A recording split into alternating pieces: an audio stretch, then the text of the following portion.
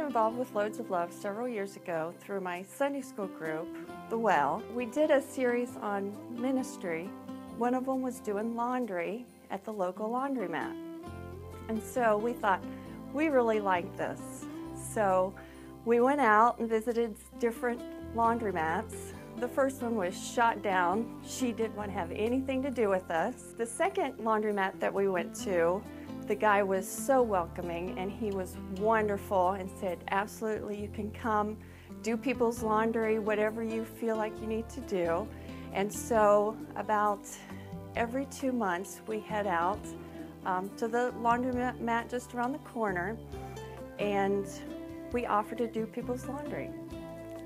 At first, people are like pulling out money, wanting to hand us money. It's like, no, no, I don't, I don't want your money. You know, I introduce myself, I let them know I'm from McKendree, and they stop and look at me like, okay, and I said, I'm here to do your laundry. It's something we want to give back to the community. You know, it's a service that we, we want to offer. And we start putting coins into the machine.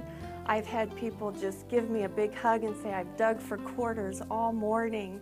And it's such a thrill that you're offering this to us. We have baked goods, we have um, things for the children.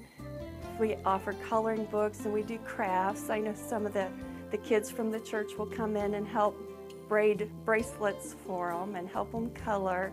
For two hours, we serve the community.